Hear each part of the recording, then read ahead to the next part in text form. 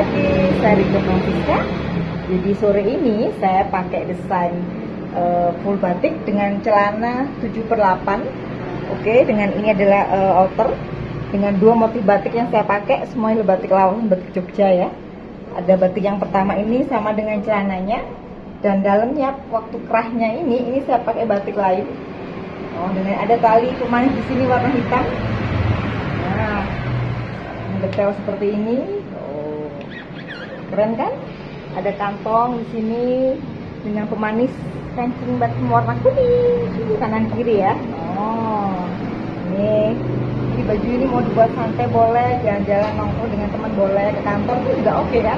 Untuk menikmati semua koleksi saya cek di IG saya Rika underscore fashion design jangan lupa follow ya untuk update-update koleksi terbaru saya